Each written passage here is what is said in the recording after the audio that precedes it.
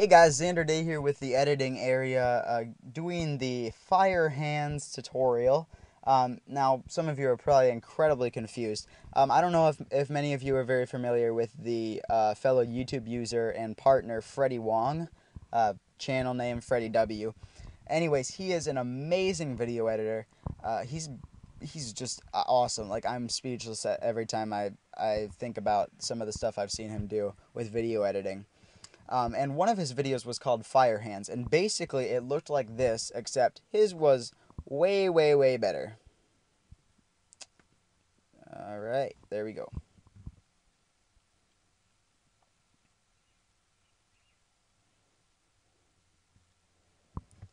And that is what we are going to try to mimic today.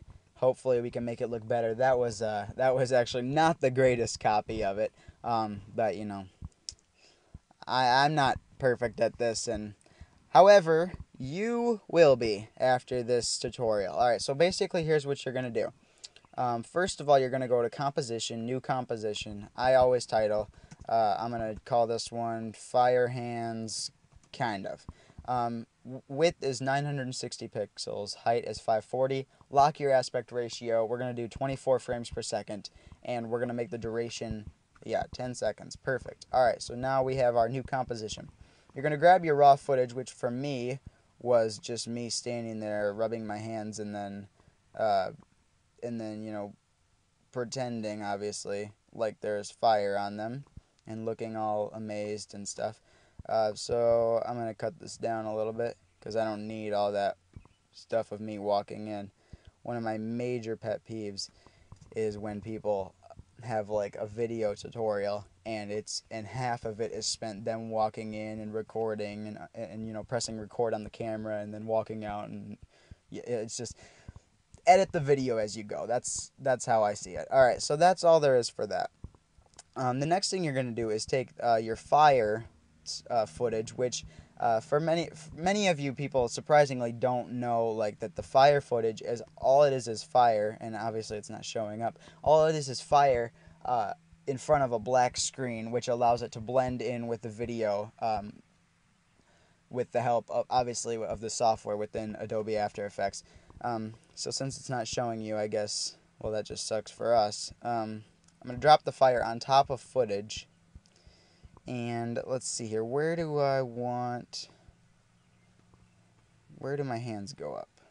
I'm looking for the place that my hands go up because that's going to be the place where my fire starts. So that looks a little that looks pretty good actually. Um, and I should adjust the fire too because I don't need a massive flame. Although that would be pretty cool. Um, all right. This is this is also the part that I hate about tutorials is um, the part where I have to make you guys wait and just kind of sit around and watch me jack around like I just did. Like I can't believe I'm such a noob that I just moved the the thing underneath me that was kind of gay. Anyways, all right. I think that'll work for now. Um, it it doesn't have to look perfect right now. All right. So the next thing we're going to do is we're going to right. Uh, well, we could right click down here and go to new but uh, so you guys can can without without a doubt see what I'm doing. You're gonna go to layer, new, null object. Now this null object is just gonna sit and it's probably gonna be a red square. It's not gonna hurt you. Leave it there. Don't tinker with it at all. Okay, so go to footage now. You're gonna click on your footage, and then click track motion. Now it's gonna bring up a new window, and hopefully your uh, your tracker window is already set up. Your motion source is going to be that footage file. Obviously, it, it may not you may not have called it footage, but whatever your main footage uh, file is, is what you want the motion source to be. Uh, tracker 1 transform and then position, rotation, and scale. You're going to want to uh, click position and rotation, so those two are checked. Uh, your motion target is null 1. Now, what I'm going to do here is uh, I'm going to set up these um, these tracks, these track points here, to uh, separate ends of my hand because I want the fire to be obviously tracked to my hand so I don't have to go in frame by frame and you know jack around with it. So, um, this looks good right here. I'm going to bring this over to my thumb. Oh, look at that stubby thumb. and then I'm going to bring this one over it's right in between my pinky and ring finger. And then what you do is you just let that uh, play out. It's going to go through every single frame um, and basically, and it's just going to track it. And it's going to keyframe it automatically for you. One of the greatest inventions uh, within this software I think is available is this it's just brilliant. It's it has saved my life and it's saved my friends' lives so many times when it comes to video editing. Um, I strongly recommend track motioning over keyframing individual frames. You're gonna save so much time and a, a lot of tears and blood and stress. Uh, just go with track motion. Um, so this is going to take a few minutes. So I'm actually going to check back in with you guys when it's done. Um, but I promise I'll be back ASAP uh, to finish this tutorial. I'll be right back. See you guys. Alright, well, hey, hey again, guys. Uh, the track motioning is just about done. Okay, correction, it is done. So what I'm going to do now is I'm just going to bring it back because I don't want it to continue past what it has to. And there's going to be a bunch of these blue squares like lined up. They're not going to be on your final video. Don't worry about it. The first time I saw this, I was like, oh gosh, I just ruined my video. They're not going to be on the video, but it's just there to show you you know, how the track points are moving. So now what you're going to do is apply that to your video. Just click OK if it says X, X and Y, unless you're planning to do something crazy. Now what you're going to do is take this little thing that I call the swirly over here uh, on the fire footage, and you're going to drag that over to null 1. Now what that's doing is making uh, null 1 the parent of it. So now if we go over here and watch, I don't want the red box there. Alright, there we go you'll see that the fire is is being track motion with your hand, uh, or my hand. Sorry, not your hand. Um, so you don't have to do it. It's excellent. It looks great in my opinion. However, I, I, I do want to point out that you can move what you can move this around a little bit to make it even tighter, and it's not gonna hurt the track motioning. You can you can mess with the scaling of the of the flames you can mess with the position of the flames, you can mess with whatever, and it's not going to affect the, the track motioning. The only thing it will affect is the position. So you need to watch and make sure that every part of, of this is where you want it to be. And if it's not, just fix it. It's not going to hurt anything. All right, the next thing, uh, actually, the next part is kind of optional. You can be done here. If all you wanted was fire, that's fine. However, if you want that little smoky part added to it, um, stay tuned here right now. And you can find a smoke file similar to the fire file, except obviously smoke, duh.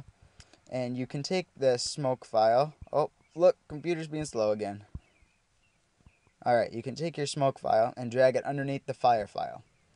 So now you have smoke and line that up with the fire, obviously, because you don't want the smoke coming like 25 seconds before the fire. That would not make any sense. I'm going to have to rescale this again. Uh, fun, fun, fun. And I want that to go there.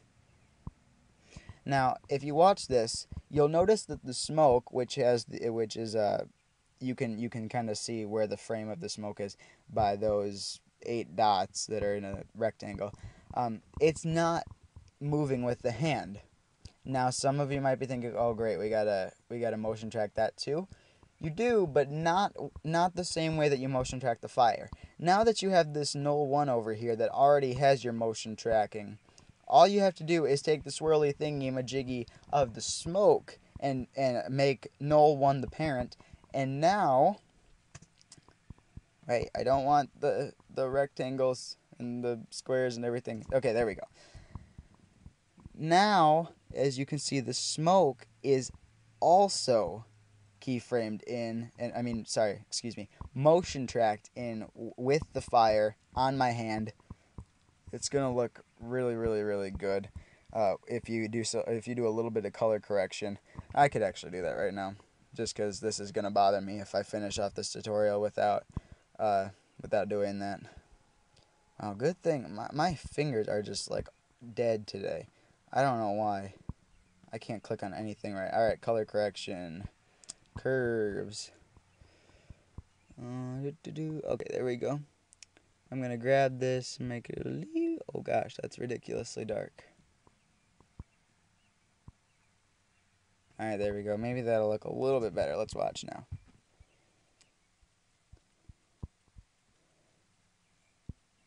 Oh wow, my computer's being slow again. Woo! Alright, I think that looks uh, pretty good. Um, it's good enough. I hope I got the point across to you guys. If you have any comments or questions, uh, feel free to leave a comment in the comment box below or send me a personal message. Um, also, be sure to subscribe. You know, uh, I've been on this channel now for two. Uh, I got I got the channel yesterday, and I already have four tutorials up. I am incredibly dedicated to this channel, and there are going to be literally hundreds of more, hundreds more tutorials coming in the in the years to come. no, actually, probably in the months to come. Um, at this rate. Uh, anyways, thanks guys. I hope that this was very helpful. Uh, again, feel free to leave me any comments or questions. This has been Xander Day uh, with the Editing Area YouTube channel. I will see you guys later. Adios.